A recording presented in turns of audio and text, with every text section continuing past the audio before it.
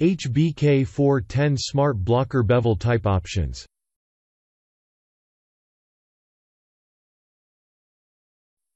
First option is the standard bevel, which is used for most standard full frames. The second option is a flat bevel, which is used for drill mount frames.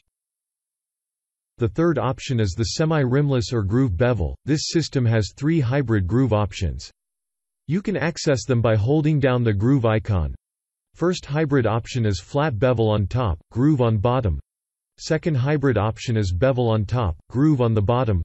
Third hybrid option is a double groove, which is used for full metal groove frames, then the top groove eyewire is wider and deeper than the bottom groove. You have the ability to alter the depth and width if the groove by simply clicking on the default settings of the groove on the image. The fourth bevel option is the mini bevel. This is used for very thin frame eye wires that is shallower than a standard bevel height. To adjust the bevel height simply click on the default height to change. HBK 410 Smart Blocker Bevel Placement Options The system contains six bevel placement options to produce optimum cosmetic results of all frame and lens combinations. The first option is percentage placement. This is the standard placement used, and is normally set at 37.5%, or one-third, two-third placement. The second option is front placement bevel, this option will place the bevel a specific distance from the front surface of the lens. This will ensure the lens is flush with the front of the frame eyewire. The distance can be adjusted by simply clicking on the default distance under the front bevel icon. The third option is a rear distance placement.